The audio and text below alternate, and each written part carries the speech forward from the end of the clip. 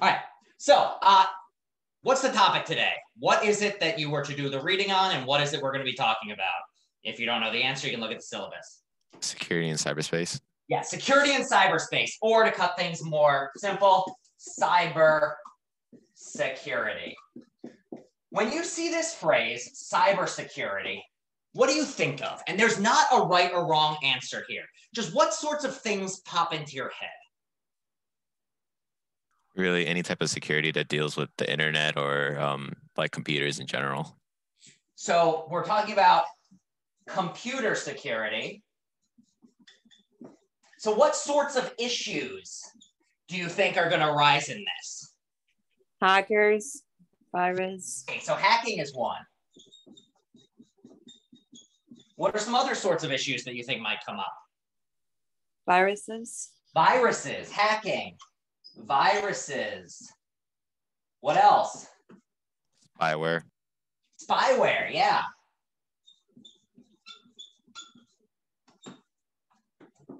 Malware of all general sorts. Anything other, anything else anyone wants to throw up here? So privacy is connected in for sure. So privacy issues and the connections between privacy and security. So I'm glad this one came up, Cynthia, because we're going to be focusing more closely on privacy next week. It's going to be the main focus. However, you cannot talk about security without some concerns of privacy, and you cannot talk about privacy without security coming into it. And we'll also see um, next or two or three weeks from now, um, there's going to be another issue that ties in with this. So we've got privacy, security, and then we kind of think of it as a triangle.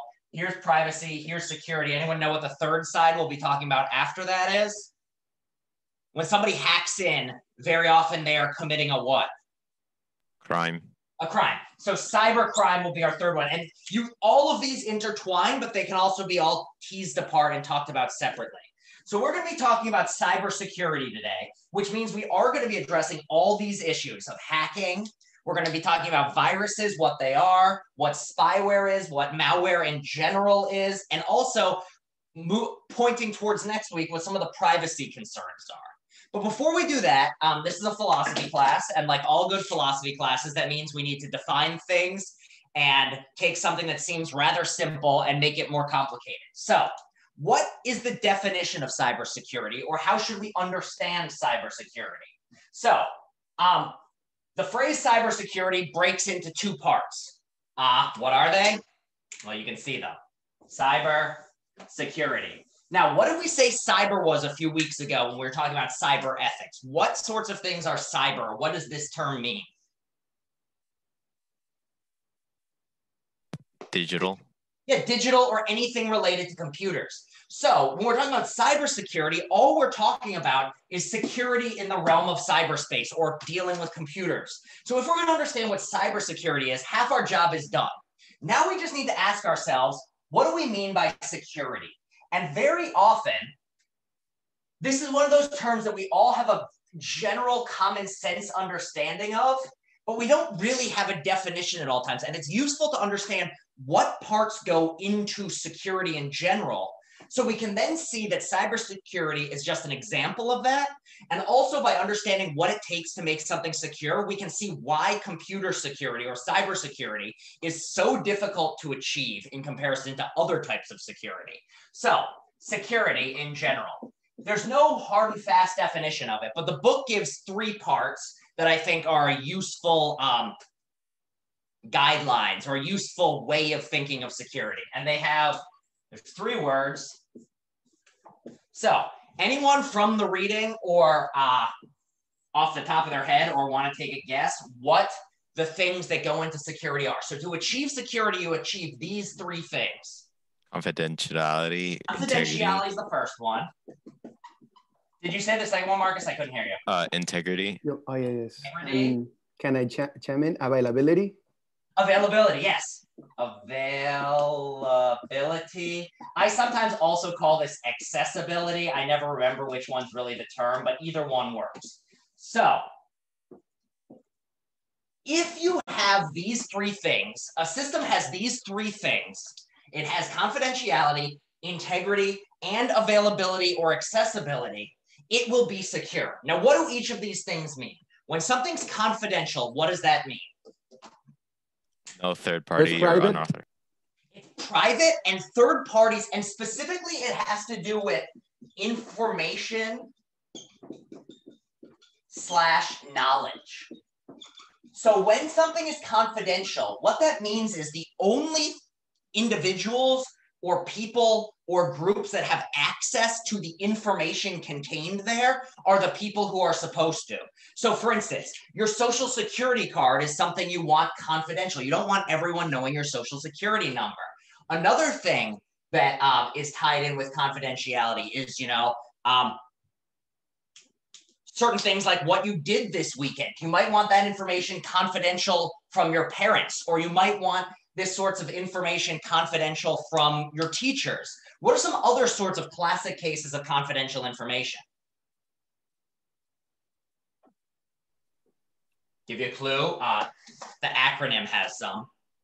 Yeah, therapy is a great one, Cynthia. So anything you talk to with a doctor or a therapist, you don't want that information going out. You don't want your therapist like starting a blog called like things David Neely talked to me about today in therapy. Let's analyze him as a group. That's not something you want to do. So that's all we mean by confidential. Is basically you can think of it like this. Um, if here is a system, the first thing you want to do is make sure that there's nothing on the outside that can see in or gain information on the inside. So that's an eyeball. So a great piece of confidentiality in your house is the wall. A wall, unless you live in a house with glass walls, gives you a lot of confidentiality. If you walk around naked in your house and have the blinds down, no one can see. You have confidentiality. Your house is a confidential system. Now, what is integrity? What does it mean for something to have integrity? Either in the sense in which, um, yeah, on says data is not manipulated by unauthorized persons or software. So this is about information being seen. Integrity is about information being um, manipulated or changed. It can come into the system and change things. So somebody looking into your house is not going to infect the integrity of the system. They're not inside. However, if somebody was inside the house, they could instead move things around. So that's what we mean. A system has integrity when there's nothing on the inside moving things or changing things other than people have access to um, somebody who's allowed to have access to those things. Now, very often, integrity and confidentiality go hand in hand. However, they don't have to. So, for instance, um, I'm going to draw something on the board. Tell me what it is.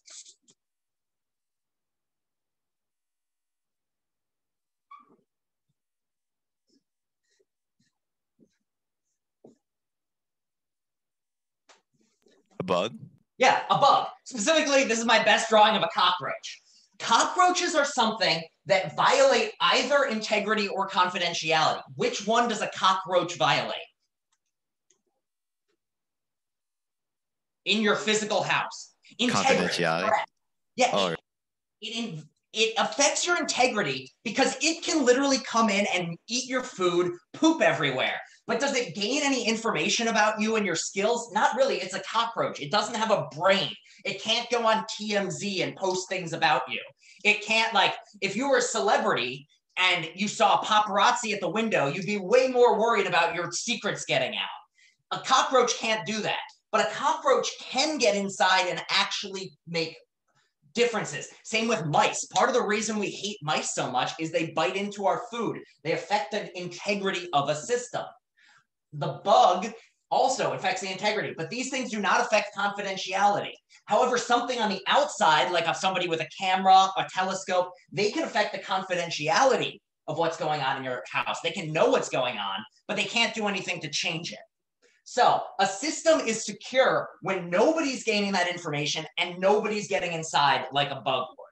So then there's the third part, availability or accessibility. So what does this mean? What does it mean for something to be available or something to be accessible? allowed to all.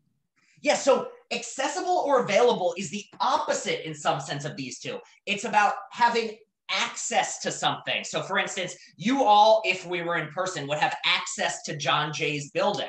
And you, by having access, that means you're allowed to be there. So, the third part of a secure system is that things that need to be um, accessed and the people who want to access them can get access. So, security is kind of like a balancing act where a system's only properly secured when it's confidential and integral from everyone who shouldn't get in, but also there's access for people who do want it. And most importantly, any sort of uh, resource that the system needs to run can access and get into that system. So for instance, a computer to work can be perfectly secure and like keep out all the information, all the integrity and everything else. And what's the quickest way to make sure that nobody ever accesses your computer? What's the quickest way to make sure nobody can ever hack in, get to it, or anything else? Not to use it? Yeah, not to use it. Or if you take a sledgehammer and smash it, that's the quickest way of doing it. If your computer is in 30,000 parts, nobody is ever going to use that computer.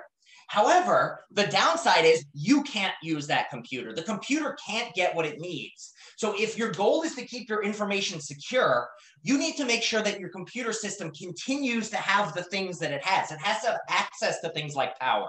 It needs to have access to things like um, a continued existence of your hard drive. It needs to make sure that it can continue spinning or reading or etc. So a secure system is not just one that other people don't have information and can't affect. It's also one in which the system itself gets the access of resources it needs and the people who want that information can st- or not want that information but should have access to that information still have it so i think to highlight what is a perfectly secure system and the sort of situation imagine that tomorrow covid mutates and not like these tiny little mutations we've been talking about that might affect the vaccines i mean the mutation turns you into a zombie and everybody who gets COVID turns into a zombie and there's no cure. And they're going to start trying to eat your brains. Now, if the zombie apocalypse started tomorrow, where would you go personally? Describe the place you would go to. A forest. A forest. Um, where else might you go, Jorge? Um, people like they. I mean, for me, uh, you feel like you're safer at home. So you know, it's like a lot of people would just stay home. We've got home. We've got a forest. Where else might you go? A bunker would be very nice. Bunker. And by bunker, we just mean like an underground locked door. So let's highlight why is it that you might, well, let's start with forest because that was the first one said. Why might you want to go to a forest? What is it about a forest? Isolation. Isolation. So if you're on your own and you're isolated, what do you have? Well, there's no one around, so all your information is still yours. Also, you have integrity. If there's no zombies around, no one can affect you. If there's no zombies around, no one's getting information about you. They don't know where you are to eat you. Also, what are there a lot of in forests?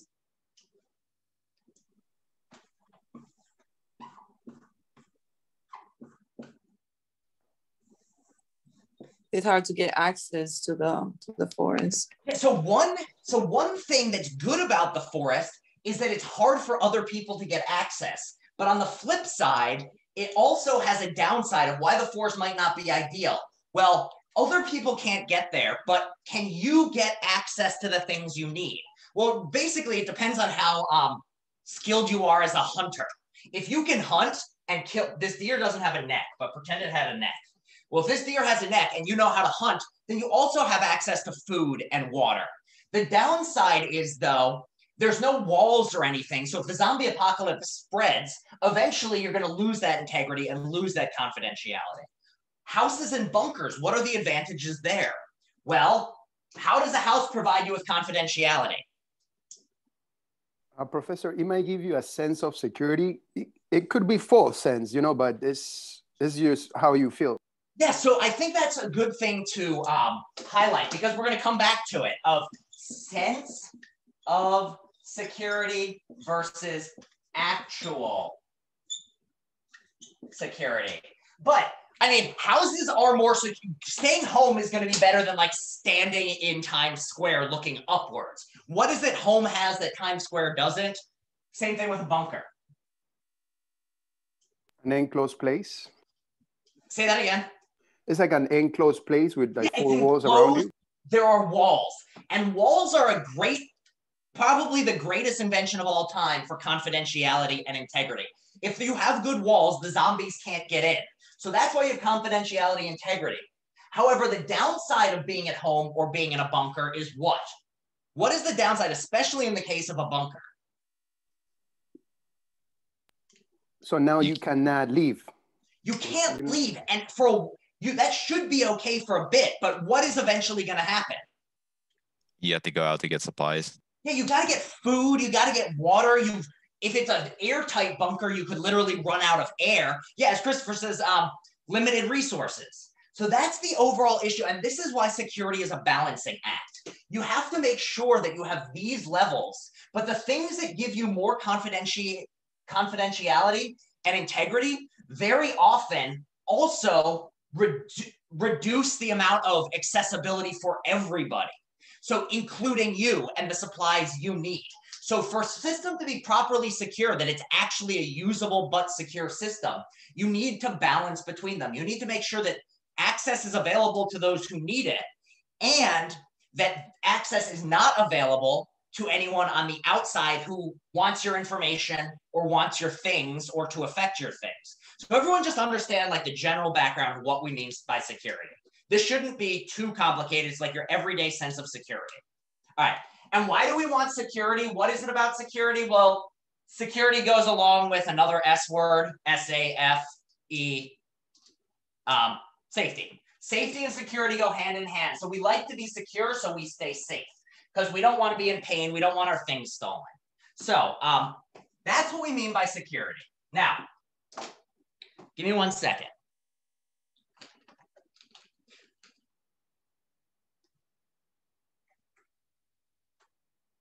So security is something that can exist in the physical world and also in a cyber world.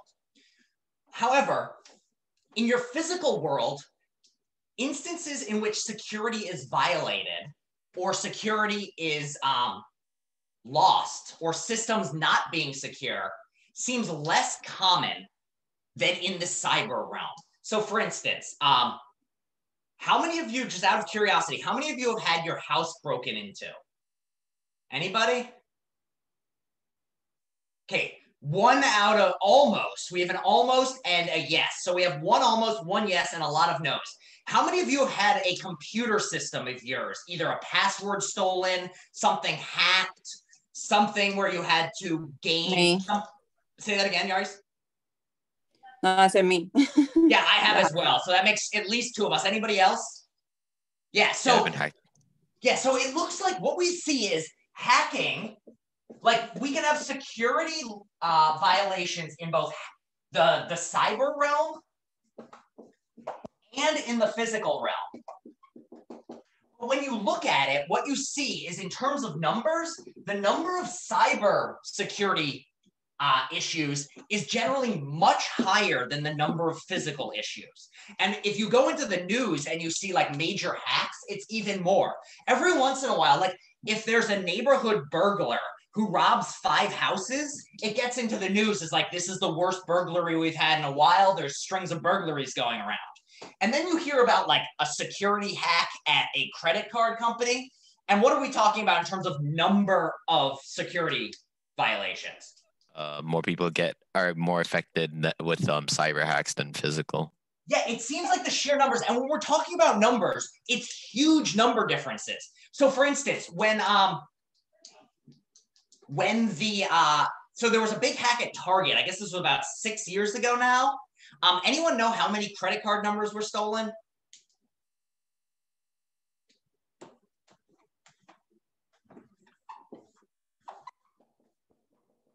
Fifty million. 50 million is a lot bigger than like a dozen people breaking into some houses in your neighborhood. Like, even if we were to take every single burglary of a car or a house in New York City that happens in a year, very often a single cyber attack will put more people at risk. Like there's probably not 50 million burglaries, house burglaries, and car burglaries in New York City each year. Like that would be incredibly high. However, there are 50 million hacks of a particular computer system, sometimes in a single day. So here's the simple question. If, if both cybersecurity and physical security involve keeping systems confidential, having into having integrity and making sure that the people who need access have the access.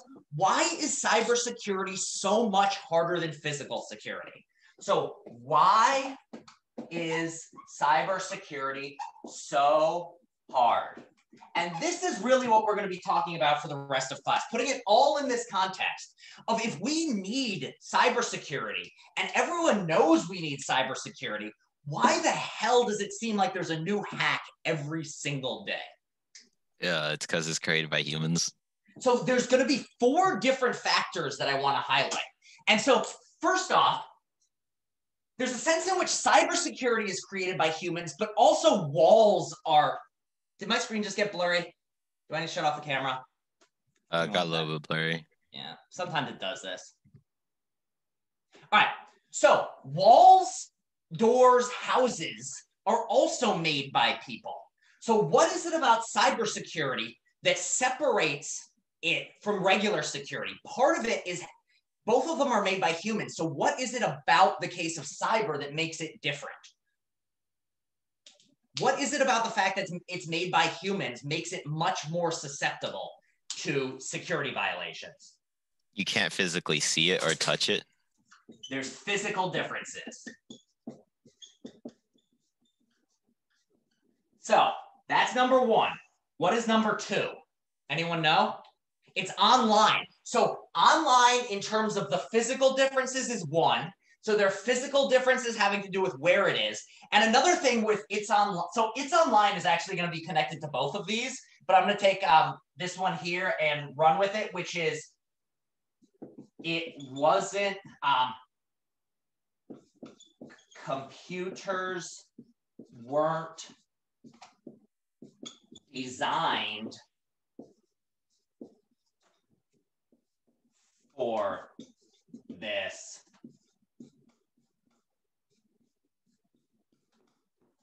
Um, so there's another thing which we're going to come back to is the way computers were designed initially and the way they're built is generally not geared towards security in the way that a house is by its very nature something that we're thinking about security on. All right, there's two more things I want to highlight.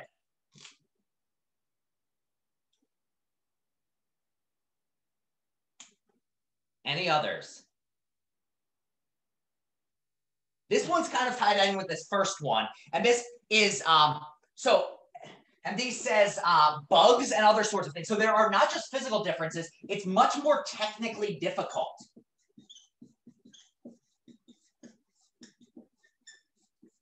And then four is going to be, and this one kind of ties in with all the others, is um, average person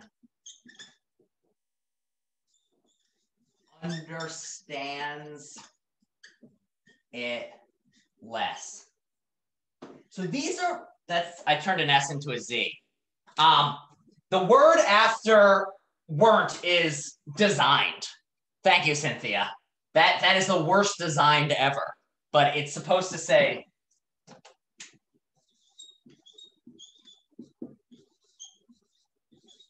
designed. Perfect. All right. So these are the four things that we're going to talk about. So what I want to do now is begin with the technical difficulties ones. We're actually going to start here. And then once we've understood this and how that leads to security issues, we can then move on to the other ones. Um, and in some ways, these aren't going to be super clearly differentiated, but rather what we're going to have is each and every one um, is going to tie in with the others. Also, if at any point I get blurry up here on screen again, somebody just type blur in the chat or just shout, hey, you're blurry again, just as it seems to be being a little uncooperative today. All right everyone on, on board with what the game plan is, where we're now going to talk about why cybersecurity is so damn hard. All right. So, uh,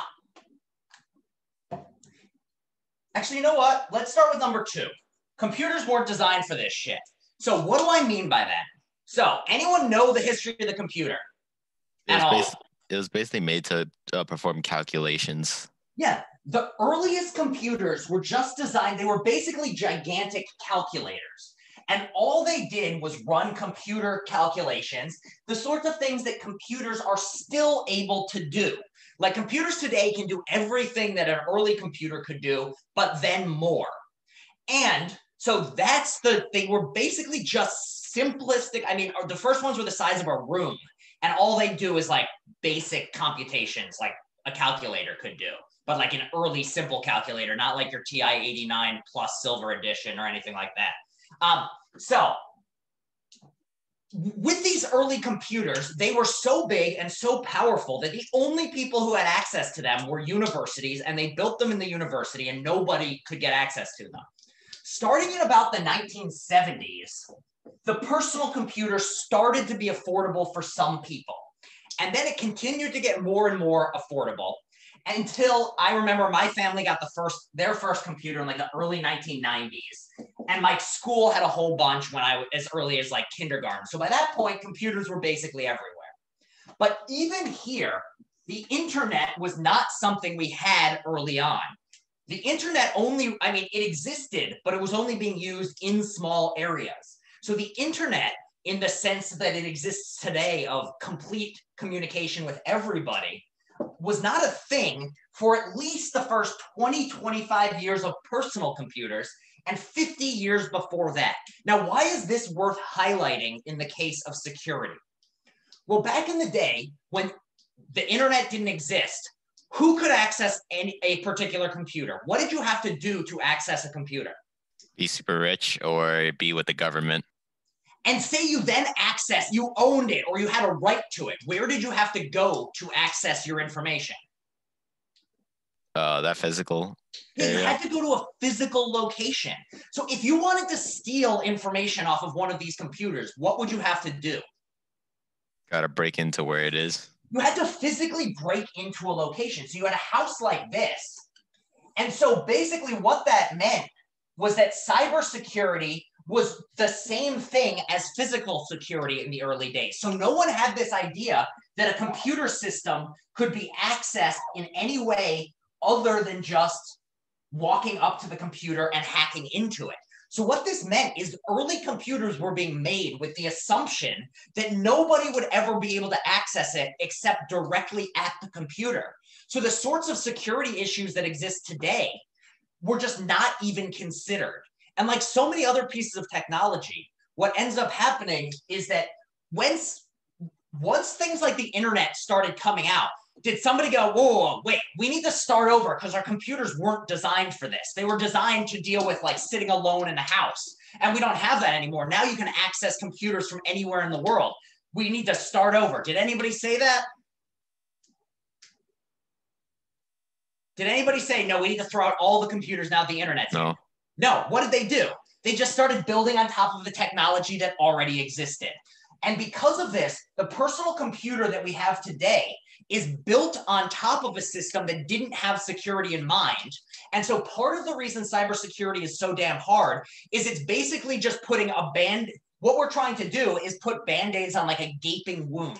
The system was not designed to be inaccessible to other users because there was no sense of other users having access to that computer. Instead, it was just built with the assumption that, well, no one's ever going to connect to this, so we don't need anything. Nowadays, though, we have connectivity all over the entire world thanks to the internet, but we have a bunch of computers that were not designed for that to be the case. So we instead, if this is your computer, instead of it just being the case that the computer itself is secure, we instead have to start building things on top of it. So the computer is designed one way, and then we have to start sticking stuff on. And as anybody who's ever tried to like attach something to something else after it's already made, like if you tried to glue something onto something, it's not going to stick as well as if it was made for that. Like if you buy an IKEA dresser and something falls off, if you try to glue it, it's never going to be as secure as the original piece of furniture was. So that's really one of the major issues with computers is they were not designed to have the level of connectivity that we see. The level of connectivity we see with the internet and other things is so far beyond what anyone envisioned that the actual hardware and the actual setup of a computer is not designed to deal with it. So everyone on board with why that's such a worry. And so whenever you hear like cybersecurity, well, it's generally not that is not a big issue for people. Uh in the original design. Nowadays, yeah. what we're stuck with is that people are trying to scramble to make up for the fact that that is now a major issue. Now that we are connected, everyone is scrambling to try to make networks secure. But the basic, it's basically like trying to make a house secure, but all the bricks have holes in them because the bricks were never designed to build a wall. Now that we have this, these bricks, we're trying to build a wall and nobody's inventing new bricks. Does that make sense?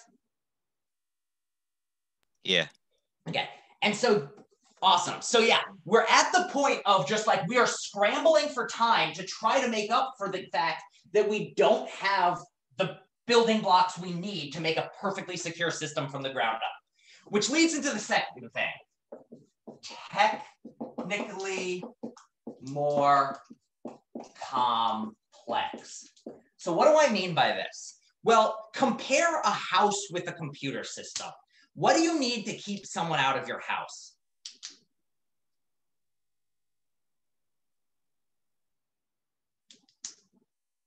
An alarm system? Secured but lock? Even more so than alarms, you need locks and you need walls. And that's about it. And bars on the windows, maybe. But basically, as long as you physically do that, it's secure.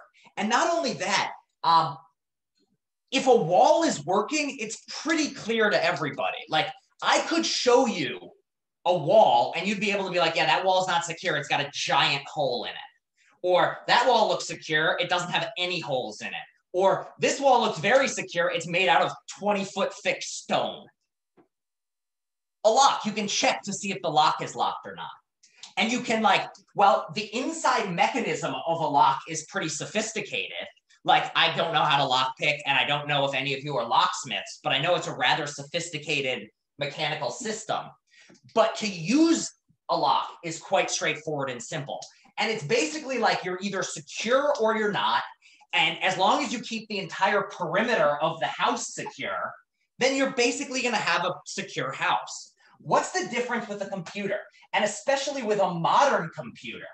Well, there's a lot of different parts that go into a modern computer system. So what all do you need to take into account to keep your computer system secure? So let's start off. Here's your computer.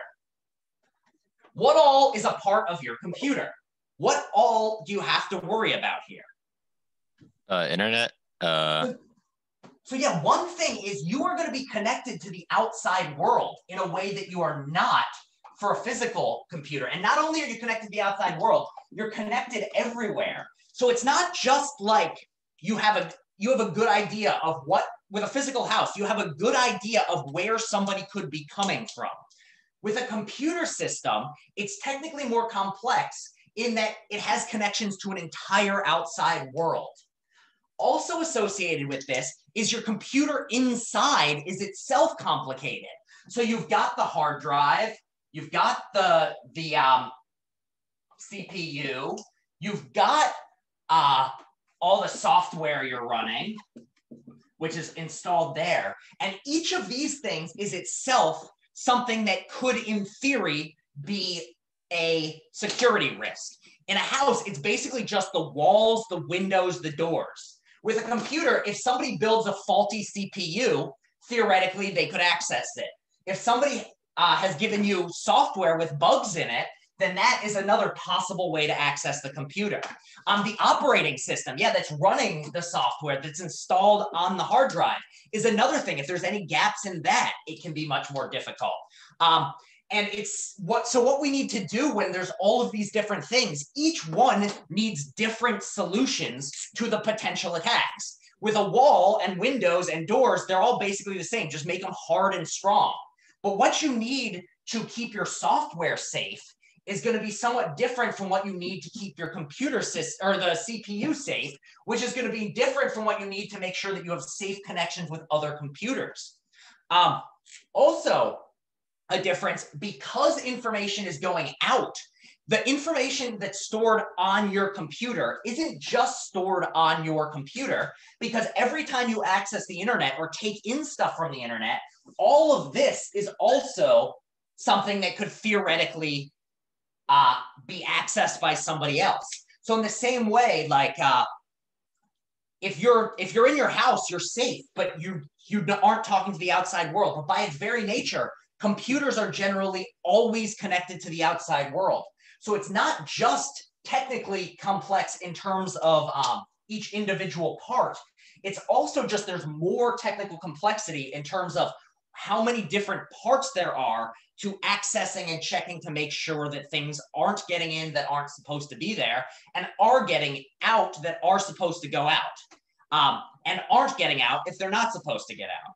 So when you actually look at a computer system, instead of a house, which is just like a single particular unit, what it ends up looking like is something like this, where you've got C computer, you've got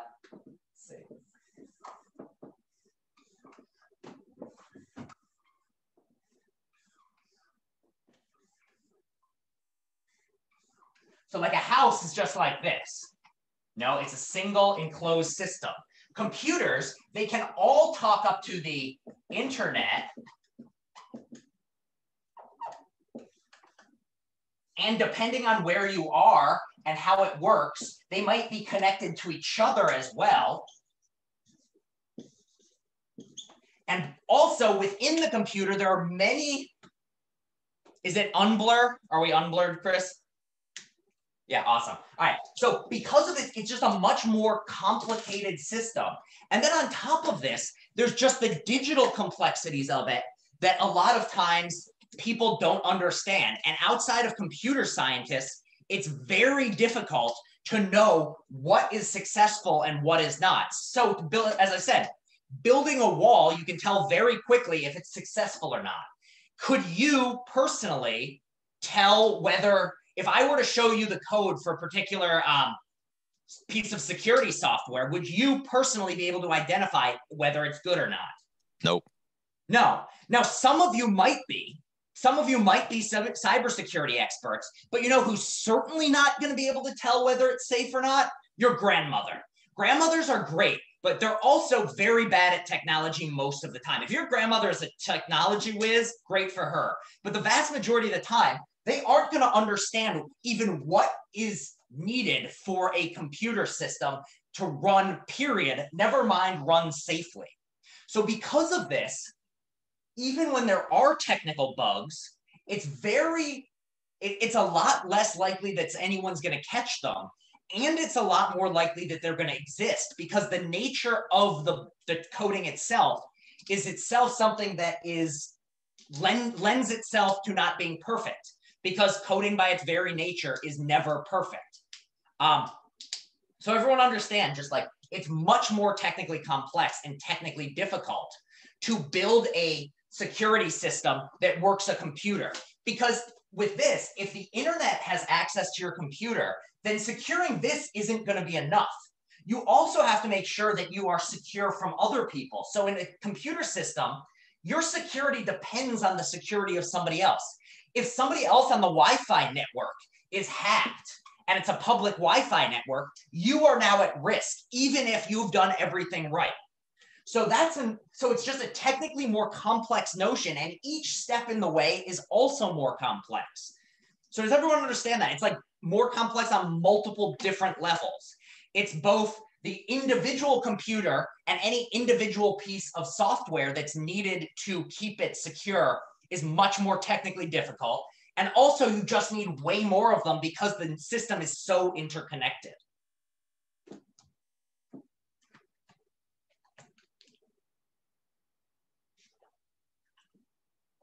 Any questions at this point? Are we doing okay? We're good. Okay. Um, and so just like with any other type of security, a security system for a computer is only as secure as its weakest link.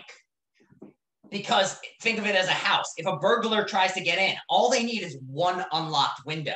In the same way, with a computer system, uh, all they need is one unlocked computer or one good access. And as long as these are interconnected, it's going to give them access to the whole network. And to do the sorts of things that you need to do to keep these safe. So, um, a lot of companies, what they end up doing is like a good secure system keeps each individual computer just connected to a main thing and kind of compartmentalized from one another. So if I were to hack into this computer, I couldn't get to this one because this one's secure. But to reach that level of sophistication, you need to understand the nature of computer networks. You can't just be like, well, my antivirus is taking care of it. Or, you know, my computer's secure, nobody's in my house. And the average person doesn't understand that level of sophistication. So it's much easier to take advantage of these complex technical issues. All right.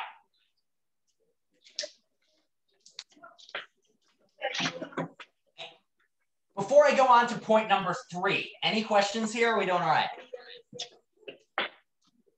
Oh, we're good. Okay. We can now talk about dumb people or complex physics. What do people want to talk to talk about first? Uh, complex physics. Yeah, let's let's okay. So we will go with um, physical differences, and this kind of ties in with the last thing I said as well. So, um, to put it in fancy technical terms, the attack surface of a cyber system is huge. The number of possible attack vectors is huge. So what do I mean by this? So there's the, there's two technical terms that you should uh, recognize or you should learn here. We have attack surface and attack vectors. So what, do, what is an attack surface and what are attack vectors? So first off, what do we mean by a surface generally speaking? And I can mean this in the sense of like your Surface Pro or the surface of a counter.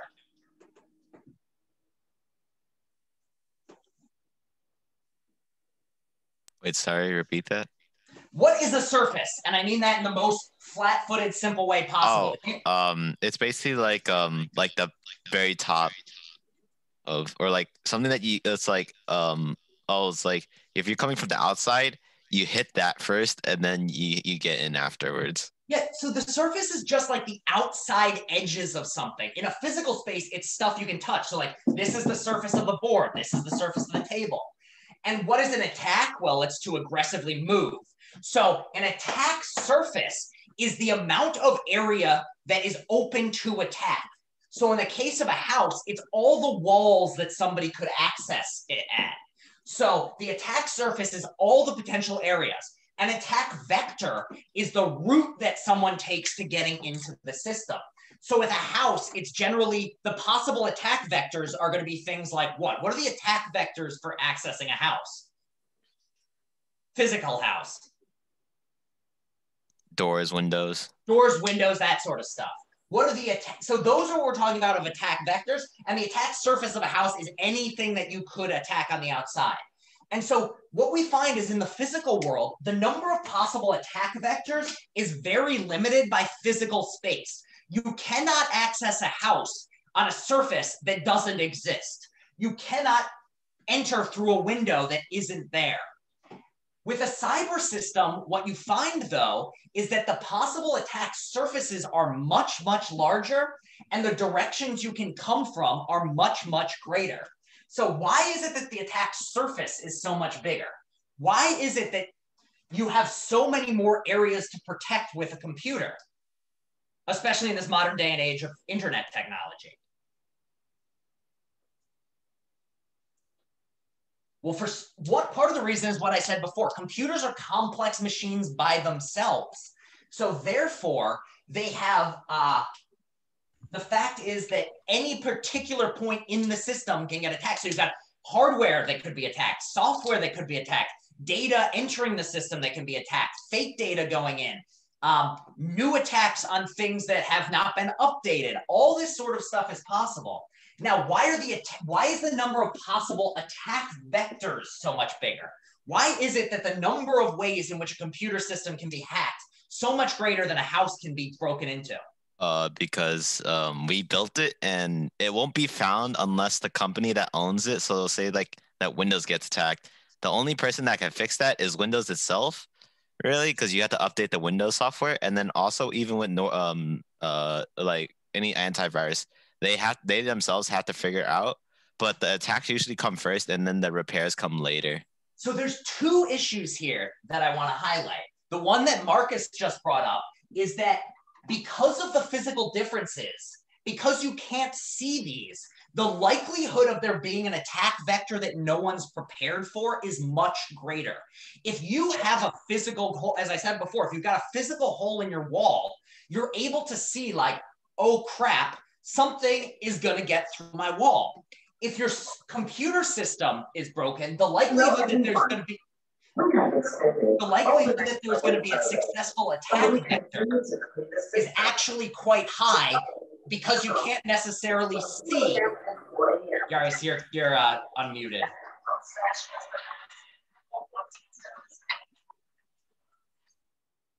All right. Um, the, the attack, the number of potential attack vectors that you might not catch like, you know, I know if there's a hole in my wall exactly where the squirrels are going to get in from. No worries. It happens. I've I've muted when I'm not supposed to, unmuted when I am supposed to, you know. Ever it happens to everyone. Welcome to internet teaching. No worries at all. So that's one issue is you aren't going to recognize the potential attack vectors. But there's another issue. What is another reason that the number of attack vectors is bigger? So one is um, can't see the potential attacks. What's the second reason?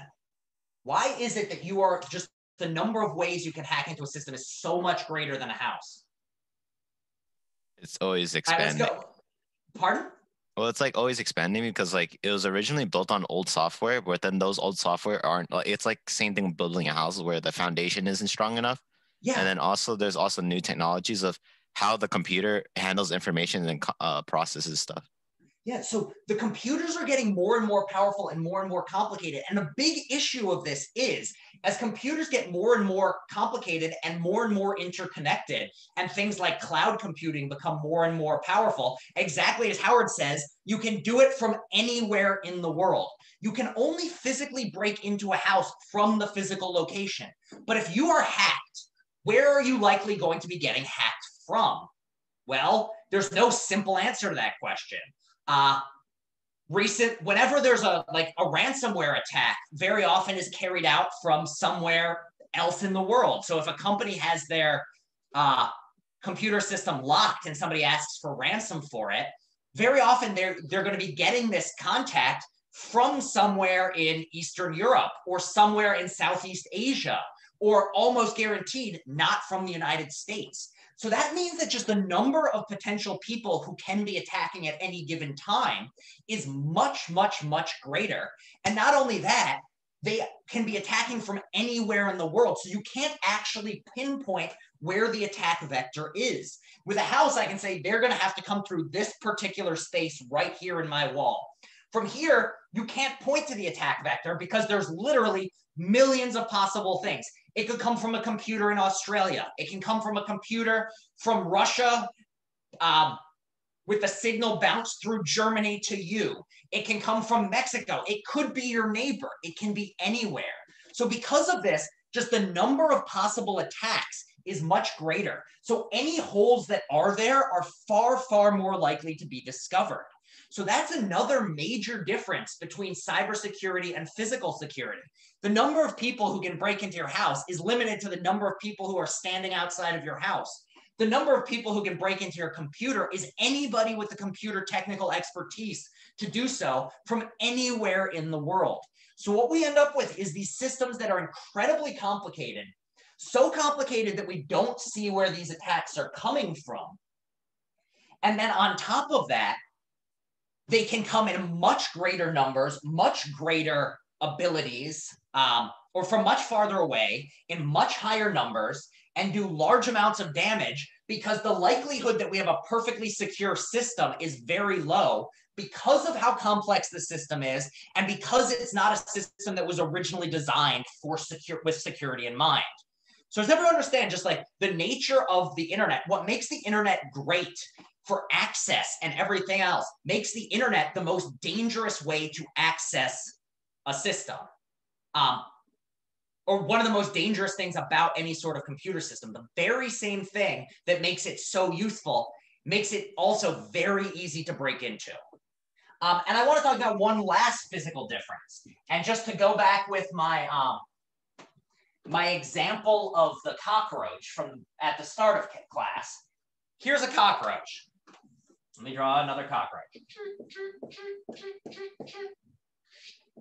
All right, this cockroach. Um, how much damage can a cockroach cause when it gets into your house? A lot. A lot. What can it do? Uh, poop a lot, eat a lot, uh, it chew through walls. Um, so it can chew through walls, eat a lot, so it can do some damage. But can it really destroy your entire apartment in a day? Not a day, but it'll take time. Yeah, it takes time. It's slow. And why can't it destroy your entire apartment in a day? Uh, you'll but, probably kill it. Yeah, for one thing, even if like you're on vacation, it's small. As Cynthia said, cockroaches are very small. So the fact that they're small allows them to get in, but also means that once they're in, they can't do all that much damage. And that's why cockroaches are a problem. Now, compare that with, let me draw one. This is not going to be to scale, but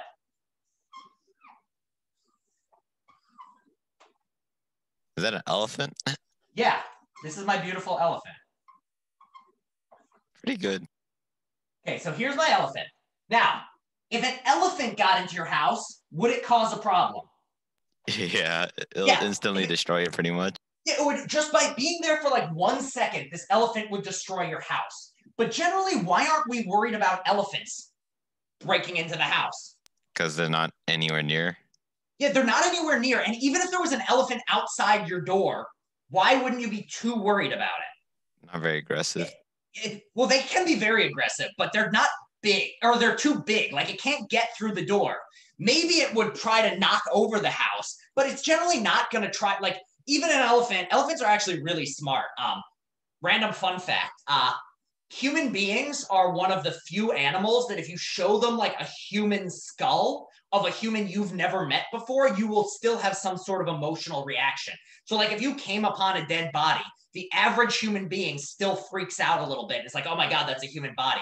Elephants are one of the only other animals that do that. So if they come across like a dead animal, like a dead elephant skeleton, all of them get like really, really quiet and like gently touch the bones and like pay their respects to the dead elephant. Um, so yeah, elephants are super cool, super smart. Another fun fact about elephants is um, one of the tests that they often do in psychology is this mirror test. So very often to tell whether something is aware of itself. Um, so like, you know, you put a bird or a dog in front of a mirror and it barks or squawks or pecks at the mirror because it doesn't realize the thing in the mirror is itself.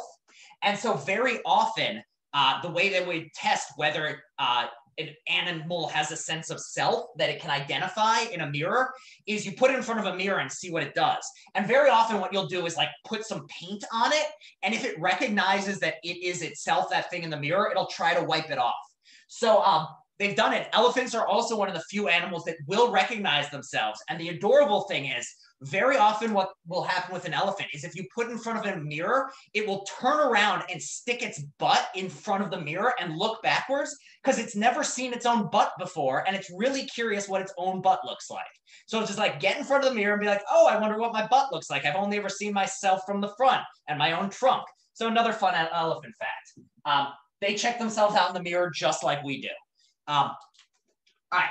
So Elephants can cause a lot of damage if they're inside, but generally we don't have to worry about them because the damage, the hole isn't big. or the, the holes in our house, our security system isn't big.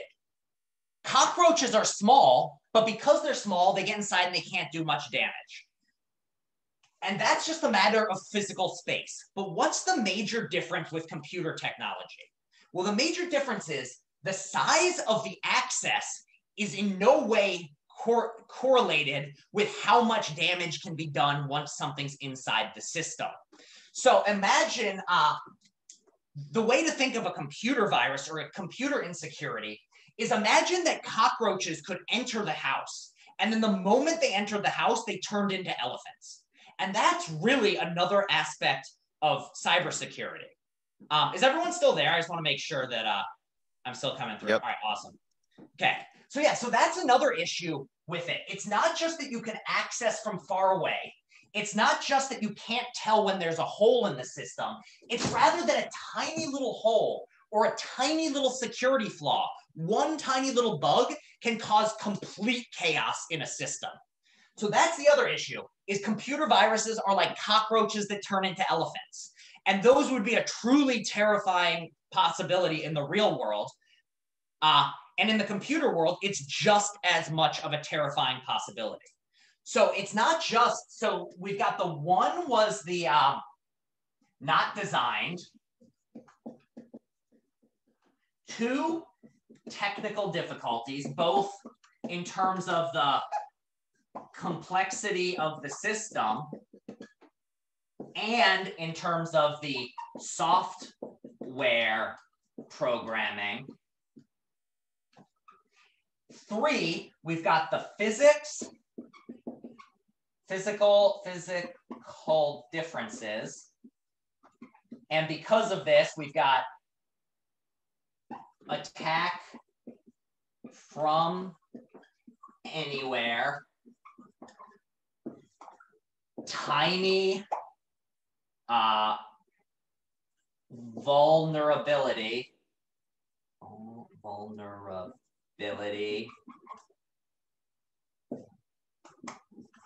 big damage.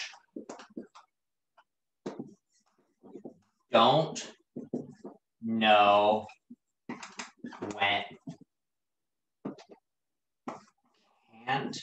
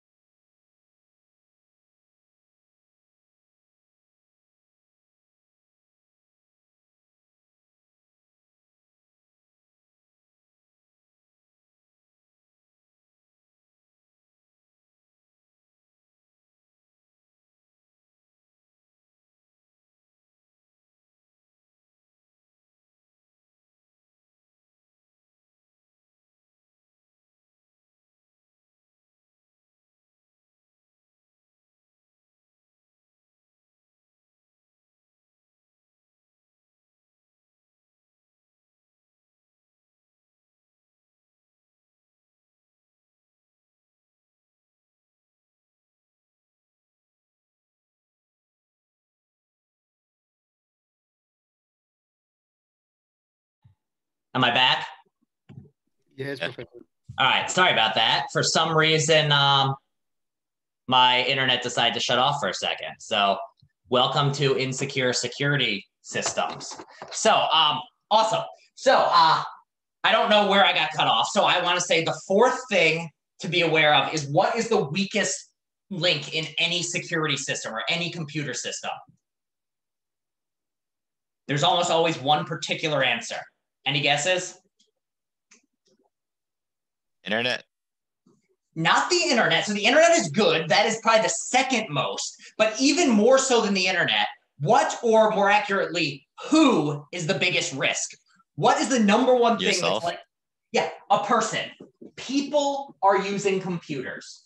And the number one biggest security risk of any system is the user themselves. And why is this the case? Why are users such big worries?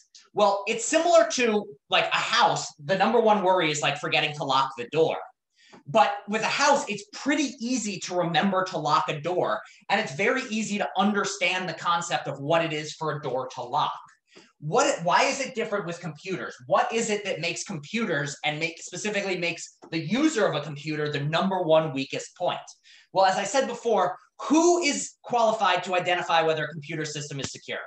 Professionals. Professionals. The only people who really can identify whether your system is secure is a is somebody who is a professional in it. And not only that, it's it's not just like in a certain sense, a uh, professional is the only person who can make my door secure, a professional locksmith.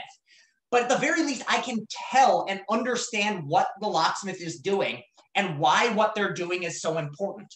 Also, I have a general understanding of what it is that an attack on my house might look like. But with computers, very, very few people are even aware of what a computer attack is or how a computer virus would get into the system or the very idea of what could go wrong. So, for instance, um, something as simple as the password. Why do computers have passwords? because they uh it allows them to lock a sense of security without much effort i guess yeah it's designed ideally it's supposed to give the user access to the system but then make sure that the only person that gets access to that system is the user. So it's designed to make a system that is uh, accessible to one person. What is the ultimate flaw of passwords however? You could guess them. the, say that again? You can guess them and then uh, if they're not hashed or anything you can just read them from like plain text. Yeah so the main issue with a password is the human mind that it has to be stored in and the other thing is, it's not the sort of thing that is super secure because if anybody gets that password, it's not like you are told that somebody's in there. Unlike in a physical house, if somebody breaks into your house and is walking around, you're going to know they were there. You're going to see things move. Unless you're familiar with your computer system intimately, somebody getting inside is going to walk around for hours or days, or in the most recent hack of the US government, which we'll be talking about a bit later uh, in the semester the Russian uh, government was inside there for months collecting data out of the US government's um, servers. And so, like, because somebody, if you get that password, it's a big, big problem. And so, in this way, people therefore are a weak link because you need to remember what your password is. But every single thing calls for a password. Therefore, you have two options. One, have a different password for everything, which you are inevitably going to forget or two, have the same password for everything, which means that if one of those systems is insecure, every other system is going to be insecure as well. And very often people use the same password for companies that are very technologically sophisticated and also things that are very not sophisticated. So for instance, if I have a, a um, password on Amazon, usually that information is stored somewhere, but it is not stored with just my password written out. Instead, what it is, is there's a program that Amazon has, which is a one-way encryptor, which turns my password, say my password was one, two, three, it'll turn it into something like this. And if you have this, you can guess this. But if you have this, it doesn't go back the other way. Um, so in that case, it would be very difficult. However, your average, you know, little, say you were like, had the same password for your local um, neighborhood watch thing, and it's just run out of somebody's basement. Well, they might store your password in their computer as one, two, three, stored as one, two, three. So if this is hacked and you have the same password everywhere, now every single system you have is going to be vulnerable. And if you're anything like my parents, the very idea of passwords is such a royal pain in the ass because they can never remember them. That very often they just use the exact same password for everything with no awareness of the sort of risk that could put them in. My mom uh, has all the same passwords for everything, and her identity gets stolen once every three years. Um, and she's tried to do it differently, but she simply cannot remember what's needed there. So that's an issue. Is um, passwords are very hard to remember, and because of this, another thing, as Marcus said, passwords are very easy to guess. Anyone guess what the most common password is? Each year they come out with a fun list. One, two, three. Uh, it's usually one, two, three, four, five. Also, one, two, three, four, five, six, seven is common. Any other guesses? Yes, password is a very common password. Um, usually, also, there's something funny where, like, whatever pop culture movie has come out this year.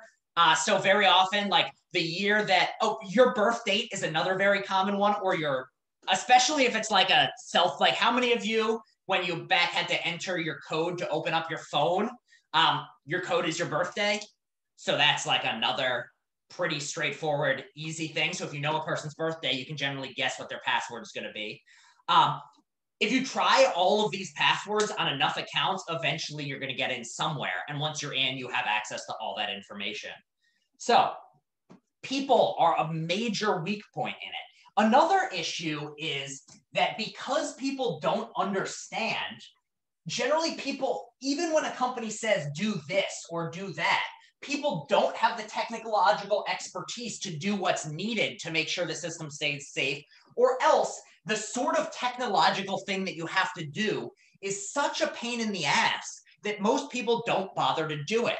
So very often what ends up happening is um, the other year, does anyone remember um, what were they called? It was a credit card, it was like a, a credit agency. And so what does a credit agency do? Well, they register everyone's what credit card numbers you have and how good this person is at paying off their credit card debt. And they are there to make sure that if you apply for a new credit card, the credit card company only gives you that credit card if you deserve it. So um, Equifax. Equifax had a huge hack and millions of credit card numbers were stolen. Why was it that Equifax was able to be hacked? What was it about this that made them so vulnerable? Anybody know?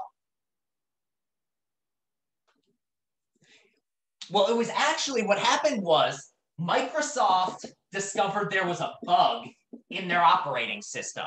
And this bug allowed somebody to access the network through a back door that was accidentally installed in the um, in the software or I mean, in the operating system, in the code, if you knew what you were doing, you could get in without the password. So what they did is they went, oh crap, we need to update this. So they very quickly, problem, patch. They patched it. So this was no longer an issue. And what is a patch? It's just new small amounts of software that get added on to something that already exists to fix a problem. It's literally like putting a patch over a balloon.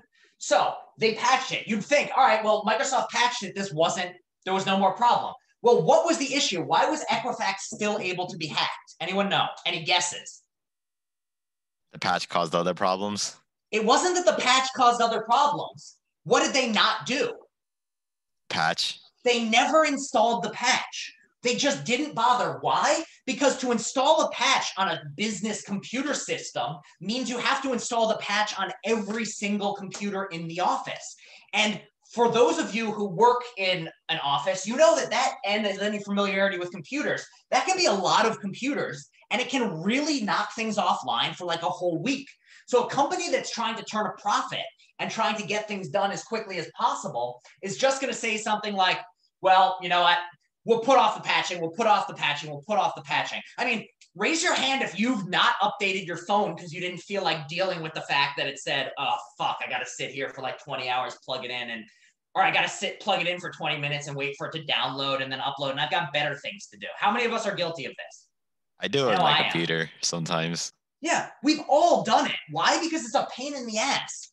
And bec- but because it's a pain in the ass, we don't do it. And every time we don't do it, it can very often mean that we end up leaving security issues. And this goes back to Marcus's point from earlier, which is even if there is a patch and even if it may, is connected to a major security flaw, the company that releases this patch is generally not going to stress to you whether or not that patch is actually tied to a major security flaw.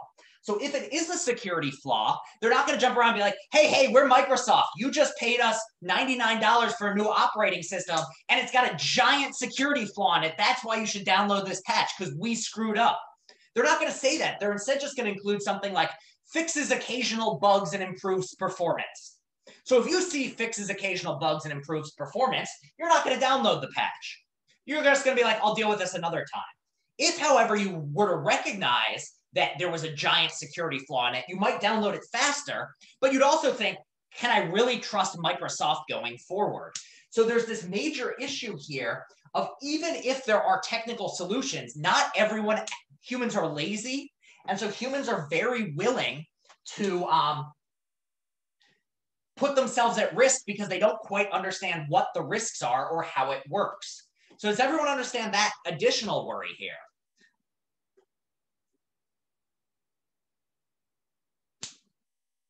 Any other? Are we all still here? Have I lost my internet again? No, you're good. Yeah. Awesome. All right. So the last thing about people is this is actually the most common way. So what I want to talk about now is the best way to keep yourself safe as a computer user is to know what the dangers are and to protect against them. So these other ones, the technical expertise, you can get that knowledge, but it takes a lot. And even if you do have it, there's still going to be bugs. But the majority of issues with computers are things that most of the time there's a hack. It's because somebody screwed up. And one of the best ways to make sure you don't screw up is to know what the possible screws up are, screw ups are. So, um, social, I can never remember what the term is. So Camera's kind of getting blurry. Oh, thank you. Social engineering. Most cyber attacks are social engineering attacks. What is social engineering? Thank you, those of you who said engineering. Um, impersonating something like it's like oh, if you work at a company, somebody the hacker would try to impersonate somebody that works at the company and then try to get in. Basically, what it is is you put someone else in a situation. You don't hack in in like the cool computer hacker in the movies sort of way of just like now I'm in. What you do is you convince someone else to give you that information willingly, usually by pretending to be somebody you aren't. So the most classic, hilarious case of social engineering is the Nigerian prince scheme. How many people are familiar with the Nigerian prince scheme? It was popular. Jorge, was that a yes? No, I, have heard about this where yeah. they mm -hmm, tried to um, impersonate a, a, prince that wants to give you um, like a lot of money and you yeah. have to give them your information first. Yeah, so it's basically you get an email from someone and it's like, Dear so and so, my name is something, and I am a prince of Nigeria. I've been kicked out of my, my country for social disobedience, and I'm looking to get back in. However, to pay for my passport, I have, or I have a lot of supporters back in the country, but to pay for my passport, I need a certain amount of money. I know I've heard from my contacts that you are someone who cares about social justice and political, uh, the spread of democracy, and that you would be a willing participant. Therefore, please wire me this amount of money. If you do that, I promise that once I'm back in power, I will give you 10 times as much money as you gave me. Please pass it along. Like, please, will you do this? Please contact me. Um, obviously, the person who's contacting you is not a Nigerian prince. The person who's contacting you is a scammer. But why does this sort of thing work? Well, it's what's called a phishing email. Now, with phishing, what's the key to a good phishing email? What is it that makes a phishing approach successful? Uh, uh people are um, not really like paying attention to who the sender and like where where it's going or sending it back to. Yeah, and also the main thing you want to do is you want to, if you are sending it, it has to be believable, but also how many people does it need to work on for you to have success? One person. One. One person. All you need to get rich is have one person. And how much effort is it to email a million people? It's one click. Yeah, it's one click. So phishing, the approach to phishing is you just send out a mass email. So I'm sure some of you got one this semester of like, dear John, dear CUNY community, there's a phishing scam going on. Do not give them your social security number. It's coming from this email address. And the reason we all got that, um, I'm actually not sure which schools it got it and which schools did it but I know some of them did. And the reason why they send it to everyone is because the phishing approach is to send it out to every single person. So that's the first thing is phishing as you send it. Now, are people familiar with the term spear phishing? Has anyone heard the term spear phishing in a computer context? Nope. Okay, so if you're regular, I guess it should be spear phishing. So let's go with the metaphor. When you're regular fishing, like a commercial fishing co company, what do they use to catch fish? Usually hooks big and bait. net, nets. This is Sometimes they'll use bait, but more often it's nets. And the approach with a net is you throw it and eventually you're going to get some fish, but you're not targeting any particular fish. Now, if you're spear fishing, you're fishing with a spear gun. Do people know what those are? It's Yes. basically, Yep. yeah, mm-hmm. it's like a little hydraulic weapon that attached to it is a spear. And when you're spear fishing, there's a particular fish you're aiming for. So you find that particular fish, you track onto it, and you shoot it. In the same way with a spear phishing scam, what spear phishing is, is a way of instead of just sending a general phishing email, you identify a particular person you want to get the information from. And in that email, you give them information that makes it more and more believable. So very often it'll be something like an email address that looks like an email address you know. So for instance, I got an email from an email address that was designed to look like my department chair and even had a picture of him in the Gmail, only instead of like john.doe at JJ, it was john.doe dot jj at gmail. So it was designed to look like an email that would be believable.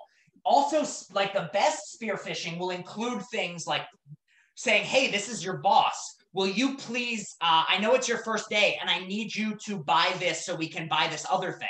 So very often companies will do that. Like somebody will be like oh I have a fake email of the boss. I will tell this new employee, and I know they're a new employee because I looked on their LinkedIn page.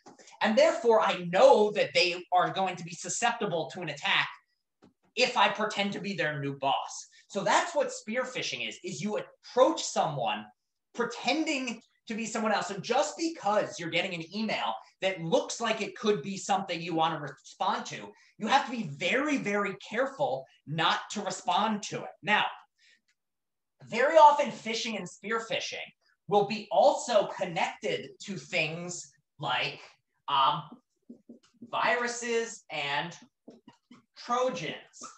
So what is a virus and what is a trojan in a computer setting? A virus is a computer uh, bug that will replicate itself just like an actual virus. So if you click on a link, it might install a virus on your computer, which will then collect information or install something or scan your computer for certain sorts of data.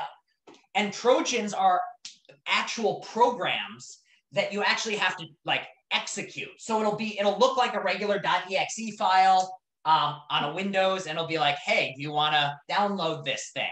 If you click yes, it will then install something into your computer. So very often, a phishing email or a spear phishing email will include an attachment that is a program and it'll look like something perfectly innocuous, but in the background, it will install something onto your computer. So whenever you're getting, what's the quickest way of keeping yourself safe from these? Well, you got to read your email very closely and you got to make sure that what you're giving them is the sort of thing like whenever you're asked for new information, pause for a second and make sure it makes sense. Because the fact is, we get hit with so much information that it can be very hard to remind yourself, like, hey, I need to pause and ask myself, is this something that somebody like this would actually send me? What are the potential risks? What information are they accessing, etc.? What are some other sorts of attack types that you have heard of or are familiar with? Anybody have any that they want to include?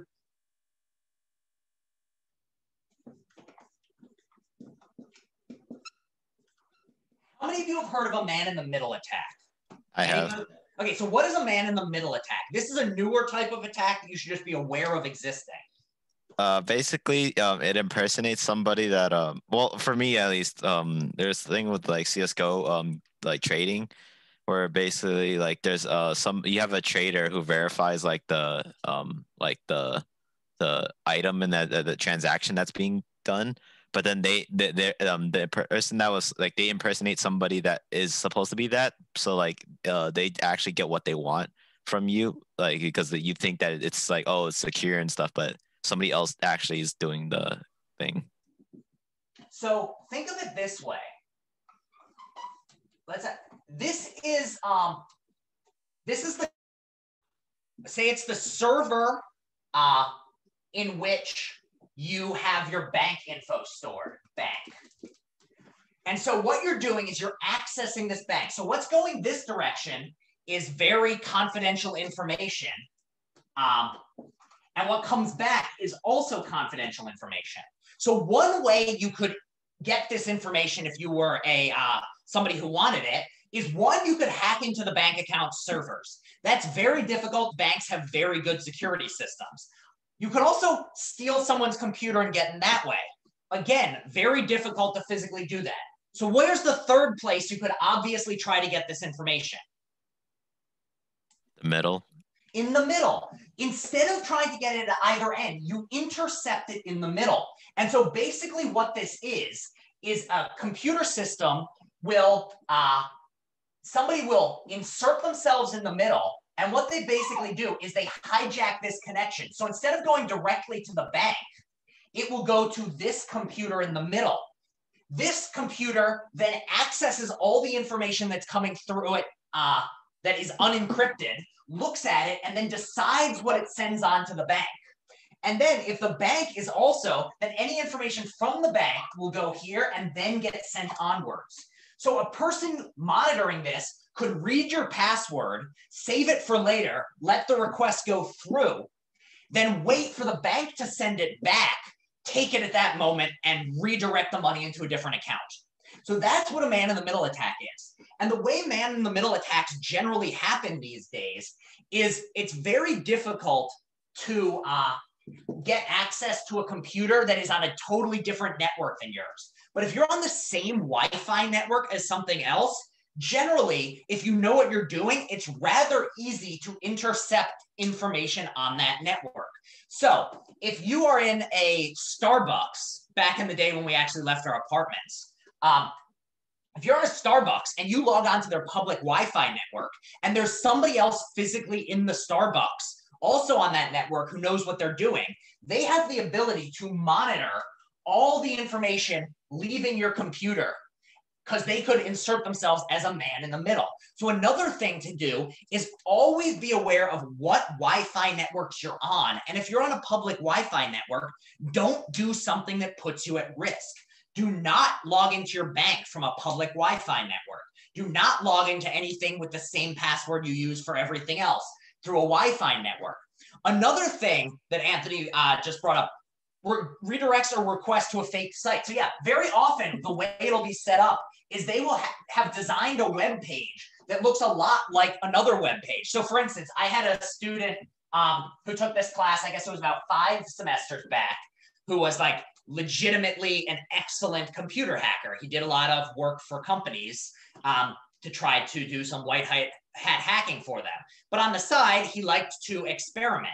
And he discovered that he could make a page that looked a lot like the Google homepage, but instead of when your Google search went through going to um, actual Google, it would just look like it refreshed the page and whatever you typed in would be redirected to a server he had and just collect whatever whatever information you typed in.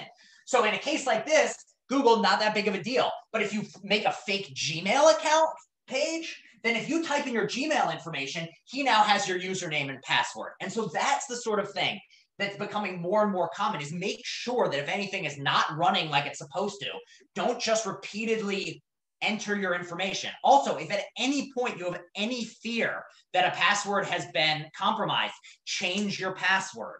Um, make sure to do that. Also, those password secure storage device things, I can never remember what they're called. Those are good things. So you can have different passwords everywhere and then just your one particular password unlocker, which will give you more control over the system. Again, not perfect because if you get that password, you're still screwed. But um, this is the degree of security or the types of security worries you have to have when you're dealing with a computer. Um, Another thing to be aware of, just a term you should know, is a what is a zero day exploit? Anybody know?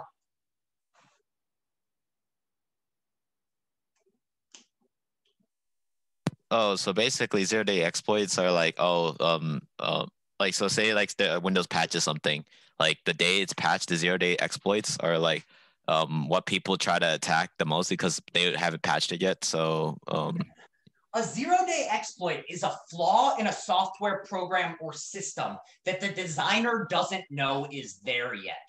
So these are the most coveted type of uh, these are the most coveted type of um, vulnerability in a system.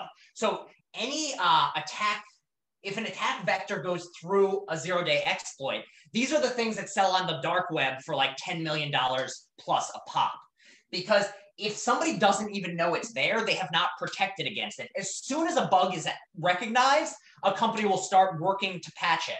So anytime a new software comes out or a new operating system comes out, there's almost always going to be some bugs in it that are security flaw.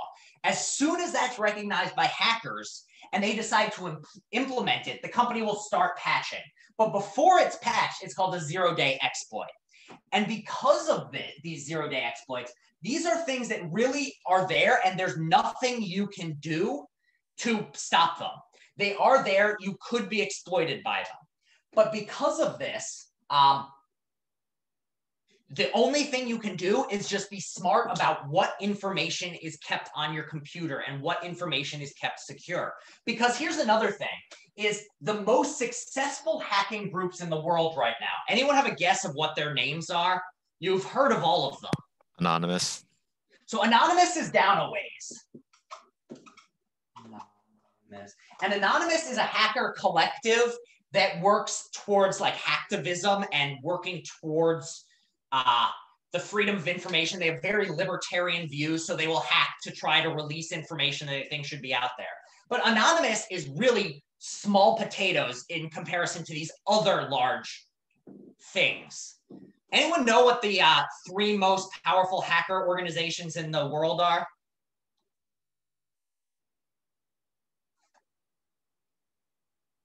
I'll give you a clue.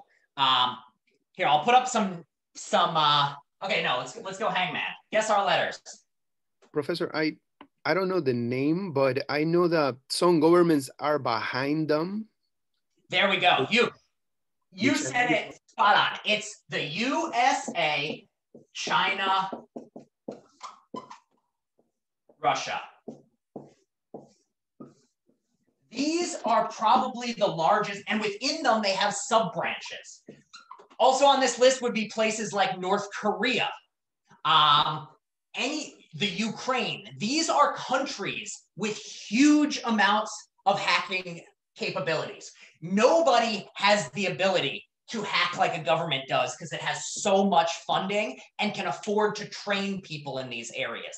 Now, because of this, if a government wanted to hack into your system, they could. In fact, these countries are constantly hacking each other. And when they do it, they do it with the big guns. So for instance, um, a as I said, a single zero day exploit can sell for like 10, 20 million dollars on the dark web. When the US government hacked into the Iranian government, and we'll talk about this more later in the semester, um, they used something like four or five zero day exploits in the same hack. That if you're willing to give away $50 million of hacks in a single hack, you're a government. So with this sort of firepower, you don't stand a chance if somebody wants to get in. So the best way to keep yourself safe is to minimize what is on your computer and what is available and to make sure that you just do everything you can to stay as safe as possible. It is not hopeless because the difference between a little hack and being completely hacked is big. So everything you can do, I mean, you cannot compete with the United States, China, and Russia for resources and hacking capability or protection. If they want to get in, they will. But you can make it so that one, there's nothing interesting that they want to hack, and two, uh, it's not make it as difficult as possible such that if you had something that was mildly interesting, it wouldn't be worth the effort for them. So these are the, the sorts of countries that are dealing with hacking. We'll come back to these later in the semester. But because there's such uh, reward for hacking, um, many, many countries and governments and everything else will do it, which takes me actually into a uh, fifth thing I want to say about uh, why cybersecurity is so bad. And this is going to be a, a, theme we come back to all semester. But first off, any questions right now? Are we doing all right? Let me just take one sip of water. Yeah, we're good. Okay, awesome. Yeah, Professor, I just wanted to mention, I just recently heard about the US hacking into, I, I think it was the German government with machines, with encrypting machines that they could, they were able to read. I I don't remember exactly. I think it was I'll last have to look it up. Um, how recently was this? I think it was last semester. Last Okay. semester. I'll look into it because the fact is, last semester I uh, was in the throes of COVID and lost sight of what hacks were going on. The main one that I paid attention to was the uh, the hack of the U.S. government by the Russian government and various other giant corporations, which we will be talking about more. But um, I'll look that one up for the next time we're talking more directly about hacking because we'll come back to hacking in the cybercrime week.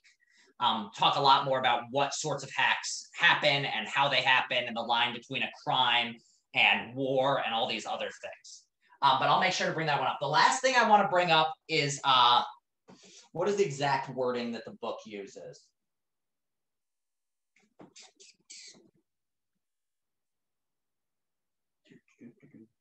Or not the book, the reading. It calls legal and policy frameworks.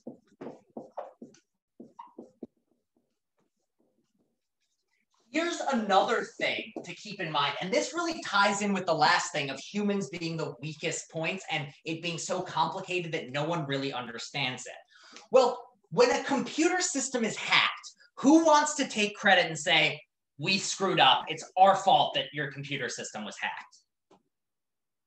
Nobody. Nobody wants to. So very often what happens is nobody owns up to it. So because of this, it's not just that uh, nobody owns up to it. Therefore, we often don't find out that we're at risk until months after it happens. So that's one reason that security risks are so high. Is it's very, very likely that if you're hacked, you're not even going to know it. Like the majority of us have been hacked, and only some of us know we've been hacked.